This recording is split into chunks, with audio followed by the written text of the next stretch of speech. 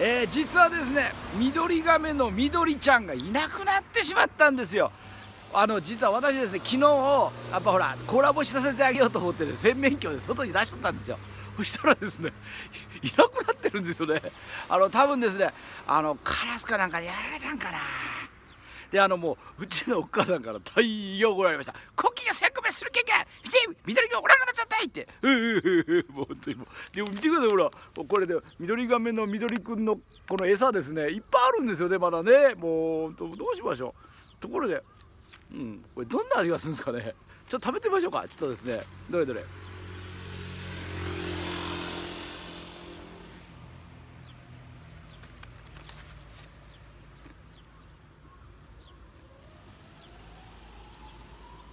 あら。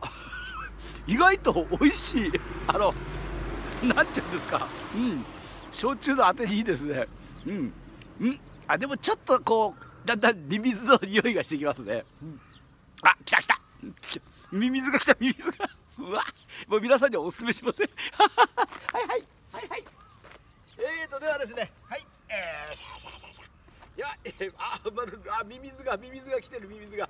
えい、6月3日土曜日今日もとてもいい天気ですさあでは全国の良い子の皆様一緒に頑張りましょうはい。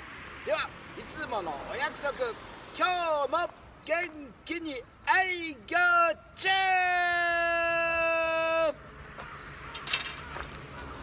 うん。なんか食べたことないけどミミズの味がします。